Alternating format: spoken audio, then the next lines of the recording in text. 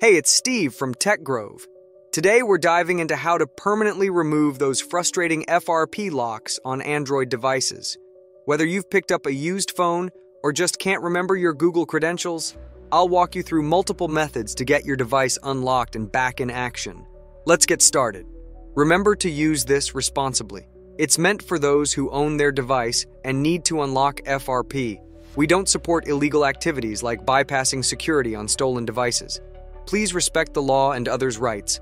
Our video follows YouTube's community guidelines. Let's get started. First, go to safeunlocks.com, navigate to Services, and choose the FRP Unlock option. Start by entering your name and email address. Make sure your email is correct and accessible because you'll receive all the unlocking info there. Then, select the brand of the device you want to unlock and enter your IMEI number, accepting the terms and conditions. To find the IMEI of your FRP locked device, check the original box of the device, the back of the device near the bottom, the device settings usually under About Phone, or dial star hashtag 06 hashtag on the device to display the IMEI number. After entering all the necessary information, click the Proceed button. You will be redirected to your order, and you should receive an email with the unlocking information. Follow the steps shown in the email to activate your order, and we recommend watching the tutorial video to understand how to do it. After completing the activation process, you will receive a membership ID associated with your order. Enter this ID in the membership identification box and activate your order. Ensure your device is turned off before doing so. You will receive a new email confirming that the unlocking process has been completed successfully. Once you receive the confirmation email, restart your device to complete the unlocking process.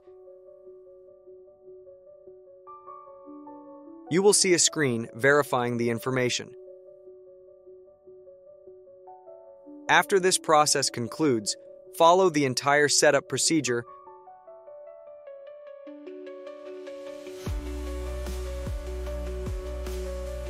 without adding any accounts and proceed with the device's default configuration.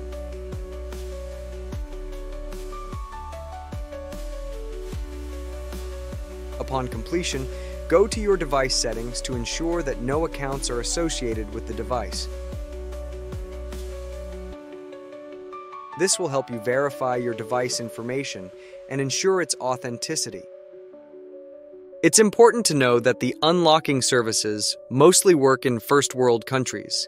If you can't access these services or prefer not to use them, we offer 250 unlocks every week for our viewers. To participate, simply like this video, subscribe and comment with your Android phone model, your IMEI, and your country. Once you complete these steps, you will be automatically enrolled. There are several ethical and legal ways to remove the FRP lock from your phone. First, you can contact the original owner of the device and ask them to remove the lock using their Google account information.